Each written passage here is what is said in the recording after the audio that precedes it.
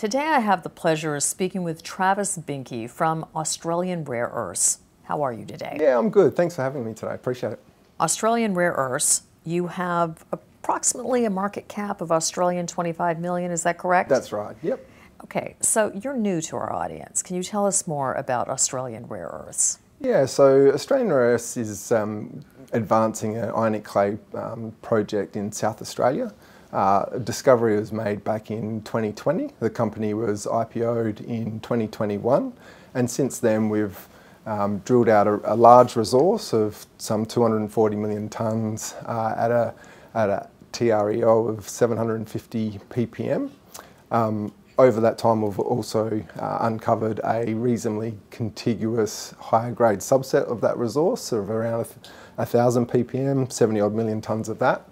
Uh, so the resource is large. It only sits on uh, a relatively small part of our of our tenure, um, and so the style of mineralisation there is is extensive. Uh, we're not going to be resource constrained, and we'll be able to continue to grow the resource over time. But we've got enough to start with, and so what our focus has been on over the last couple of years is looking at how we can best develop the project. So we're currently in a pre-feasibility study, uh, which we will hope to um, publish early next year uh, and that's under a, a, heap leach development pathway. So uh, we've, we've done a lot of metallurgical test work. Um, we've got a good understanding of the, of the project uh, and we think that the heap leach uh, approach in our context is going to certainly be the most economic uh, and sustainable way to, to develop the project. So we're really excited to, to uh, keep working, keep progressing, and, and bring a project into development, you know, over the next few years um, as as we advance.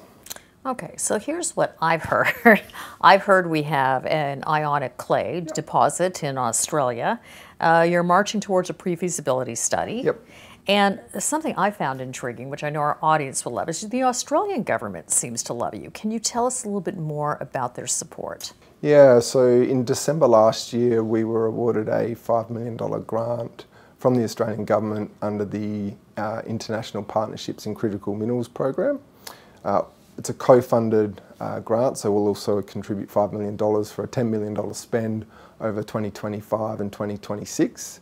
Uh, the program of work will help us deliver some metallurgical test work, uh, the pre-feasibility study, also build and operate a demonstration facility next year uh, as well as advance our regulatory approvals. So uh, that that $5 million grant is, is certainly going to help continue to uh, make significant inroads in, in progressing uh, the project. And in addition to this, because we love uranium, you also have a uranium resource. Yeah, so we, we took the decision uh, probably 12, 18 months ago to um, start diversifying and building out a, a, portfolio of growth opportunities. Um, and when we looked to do that, we looked at the skill set of the team, and, and our team, from a, from a geologist point of view, have got extensive uranium experience. Um, so we set out around building out a portfolio of early, early stage exploration projects in South Australia. Um, why did we do that? It's our backyard. Our, our geologists know the, know, the, um, know the ground well.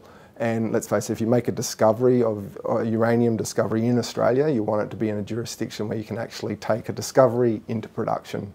There's only three uranium operating mines in Australia, and they're all located in South Australia. So it's a great jurisdiction to be uh, advancing uranium projects uh, in Australia. Something I love to ask our CEOs, uh, Travis, is you know, I looked at your incredible background, young, professional experience. You've got 20 years of mining already. What made you move into rare earths? Uh, it's a great question. So, uh, prior to Australian Rare Earths, I was a company called Oz Minerals. Um, it was part of a acquisition that BHP made uh, some two and a half years ago. So that provided me an opportunity to take a step back and think about what I'd like to do next. Um, and I was very fortunate to come across this opportunity with Australian Rare Earths. And why I was attracted to, to this project is uh, the opportunity to take uh, a, a a new project in my home state of South Australia and create something new um, for the local community, the, the local industry, uh, and bring a new, new mine into production. So that was something that really excited me.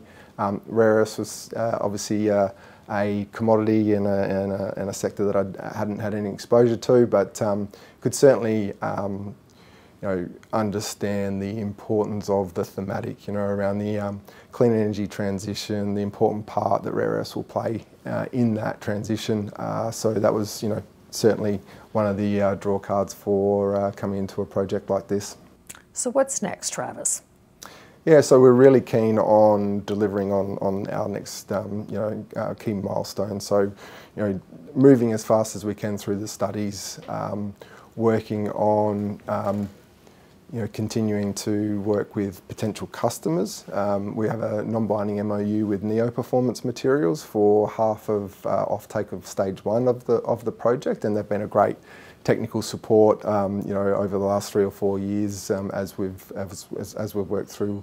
Um, all, all, of the test work in producing a mixed rare earth carbonate, the product that we would sell and uh, to customers like Neo. So um, you know, we're going to continue to work closely with Neo. We've obviously got opportunities to work with other potential customers, so that's that's certainly going to be a, a key for us. Um, and because of the nature of our deposit uh, being a, a, reasonably enriched heavy rare earth um, assemblage, so got a, a, one to seven heavy to light uh, rare earth ratio, um, and at a time where obviously the market is looking for uh, new supply of heavy rare earths um, we, we feel like it's a great opportunity to really leverage um, that opportunity with, with potential customers. And of course, for those of you out there that follow Neo Performance Materials, they're leaders in the industry. So for them to select you for a partner, can you tell us what made you so competitive? Yeah, it's a good question. So uh, it was before my time when they first um, they, they came in uh, as a shareholder at the IPO back in 2021. I think one of the, the things that they liked about the, the project was um, you know, the jurisdiction. Uh, Australia is a great mining jurisdiction. Uh, the assemblage of, of, the, pro, of, the, uh, of the resource and the potential uh, scope for that resource to continue to grow and be a long-term sustainable supply of the, the light and heavy rare earths that are required to, to feed into for, as feedstock for, for their supply chain. So um, you know, I think there's been great alignment around um, you know the the management teams from from both companies in in how we can work together to advance a, a, a new project into the market. So, for all the shareholders out there, I mean, you've been very clear about what should happen next, but what should we expect, say, in this next quarter? What do we get by Christmas? Yeah, so at the moment we're doing a, uh, some test work um, around the mixed rare earth carbonate um, impurity removal. Um, so we'll have some, um, hopefully some encouraging results around the, the quality of the end product that we would look to produce. Uh, so that, that's something that we're working on with, with ANSTO at the moment.